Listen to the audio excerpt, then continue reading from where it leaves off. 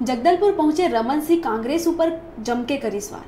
कहीं बस्तर में जतका भी योजना हवन शुरू करे रहें, सब ढप हो गए। बीपीओ सेंटर बंद कर दे गए बस्तर के लोगन मन पर नमक बंद हो गए कांग्रेस के सौ दिन के सरकार आर्थिक तंगी ले गुजरा थे ए दौरान रमन सिंह के संग कई अन्य भाजपा नेता भी मौजूद रहे। जगदलपुर डिजिटल रिपोर्टर मृणमय बरोई की रिपोर्ट।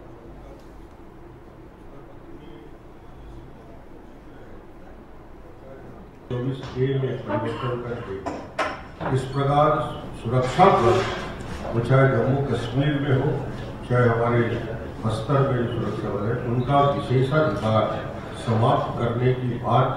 यदि कोई राजनीतिक दल सोचता है, कि अपने आप में इसे मैं अपराध की श्रेणी में मानता हूँ, और दूसरा राष्ट्र विरोधी राष्ट्रद्रोह के कानून में परिवर्तन लाने की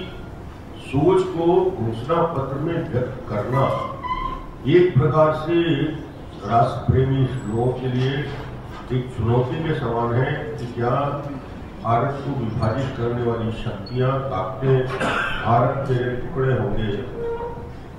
ये नारे लगाने वाले लोग और देश विरोधी सारी ताकतें क्या सफल हो गई है कि राष्ट्रद्रोह के कानून में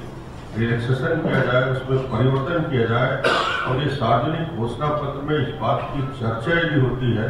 तो आज उसका इफ़ेक्ट बस्तर में भी साफ़ साफ़ दिखता है।